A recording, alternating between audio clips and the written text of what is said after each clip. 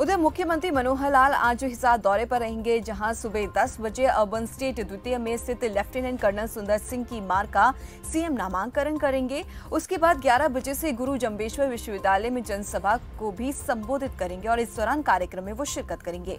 जबकि दोपहर ढाई बजे सीएम मनोहर लाल हरियाणा कृषि विश्वविद्यालय में आयोजित किए जा रहे कृषि विकास मेला दो हज़ार तेईस के समापन के अवसर पर बतौर मुख्य अतिथि शिरकत करने वाले हैं और प्रगतिशील किसान सम्मान योजना के तहत प्रदेश के प्रगतिशील प्रगतिशील किसानों को पुरस्कार वितरित करके सम्मानित भी किया जाएगा। तो आपको बता दें कि आज एक कार्यक्रम का आयोजन जो है वो किया जाना है और इस कार्यक्रम में हरियाणा के मुख्यमंत्री मनोहर लाल शिरकत करने वाले हैं। वहीं कार्यक्रम जो आयोजित होगा उसको लेकर पूरी तैयारियाँ कर ली गई है। मुख्यमंत्री के दौरे को लेकर पुलिस बल की भी तैनाती कर दी गई है। चप्पे चप्पे पर इस कार्यक्रम की नज़र रखी जाएगी।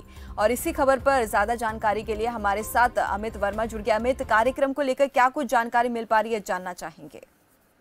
जी बिल्कुल हरियाणा के मुख्यमंत्री मनोहर लाल लगभग दस बजे इस हाट के अंदर पहुँच जाएँगे। सबसे पहले वो इस अर्बन द्वितीय के अंदर कर्नल सुंदर सिंह के मार्ग का नामकरण करेंगे और लगभग दस बजे के आसपास गरुड़ जमेसी विश्वविद्यालय के अंदर पहुँचेंगे और यहाँ पर जनसभा सुनेंगे और लोगों की जो समस्या है उनका समाधान भी करेंगे।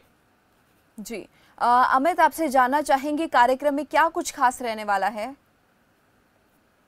जी बिल्कुल अधिक कार्यक्रम की बात करें तो लगभग दस दस दस बजे गरुज मेसी विश्वविद्यालय के अंदर यहाँ पर जनसंवाद करेंगे, क्योंकि यहाँ पर पूरे इसाद ज़िले के लोग यहाँ पर अपनी समस्या लेकर पहुँचे, पहुँच रहे हैं, क्योंकि जो प्रशासन ने भी पहले यहाँ पर, जो लोगों की समस्या करने के लिए यहाँ पर खुला दरबार लगाया था और लोगों की शिकायतें ली थी, लगभग यहाँ पर 300 से ज़्यादा शिकायतें यहाँ पर मुख्यमंत्री मनोहर लाल के पास पहुंचेगी और जिसके बाद यहाँ पर मुख्यमंत्री मनोहर लाल उनका समस्या का समाधान करेंगे और लगभग दो बजे के आसपास एच के अंदर जो कृषि विकास मेला है, वहाँ पर शिरकत करेंगे और वहाँ पर प्रगतिशील किसानों को सम्मानित भी करेंगे। जी। अमित, जैसे कि जानकारी ये मिल रही कि मुख्यमंत्री मनोहर लाल का दौरा है हिसार का तो ऐसे में कोई बड़ी घोषणा की जा सकती है मुख्यमंत्री की तरफ़ से?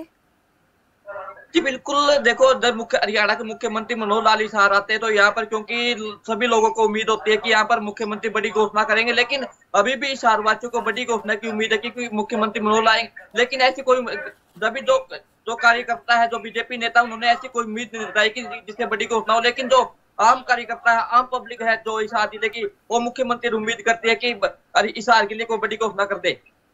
जी, चलिए बहुत बहुत धन्यवाद अमित इस तमाम जानकारी के लिए। तो जैसे कि हमारे संवाददाता ने भी जानकारी दी, आपको बता दें कि हरियाणा के मुख्यमंत्री मनोहर लाल कोई बड़ी घोषणा कर सकते हैं, संभावना जताई जा रही है। वहीं आपको ये जानकारी दे दी कि कार्यक्रम को लेकर तैयारियाँ पूरी हो चुकी है और इसके अलावा ये भी जानकारी मिल रही है कि मुख्यमंत्री मनोहर लाल लोगों की समस्याएँ सुनेंगे और उसका निस्तारण भी मौके पर ही कर दिया जाए